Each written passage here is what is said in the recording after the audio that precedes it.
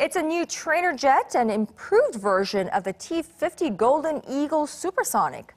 Korea unveiled its TX trainer jet today. It's designed specifically for sale to the U.S. Air Force. Now, if the country wins the deal for 350 jets next year, it could translate uh, into more orders down the line and an even stronger alliance with the U.S. Well, that's according to President Park Geun-hye. For details, here's Arirang News Presidential Office correspondent Song Ji-sun. The TX trainer is an upgrade of the T-50, also known as the Golden Eagle.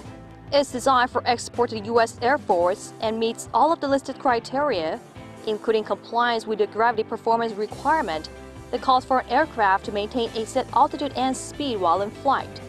The jet's predecessor, the T-50, co-developed with Lockheed Martin, has already been exported to four countries, including Indonesia and Iraq.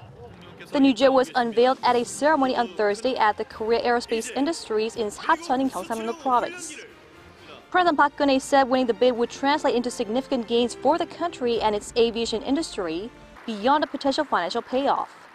국가 안보적인 측면에서도 한미 동맹을 더욱 강화시키는 촉매제가 될 것이며 한미 간 무기 체계의 상호 운용성 증대로 한반도의 안정과 평화를 유지하는 데도 큰 도움이 될 것입니다.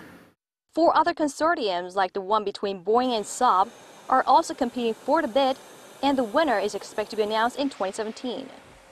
If Korea wins the U.S. bid for 350 trainer jets, it would be worth some 8.5 billion U.S. dollars, and 43,000 new jobs will be created.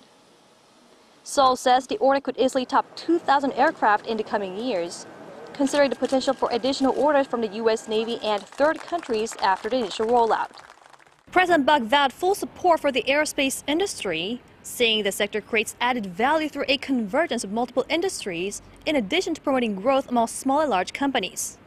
Song Ji-sun, Arirang News.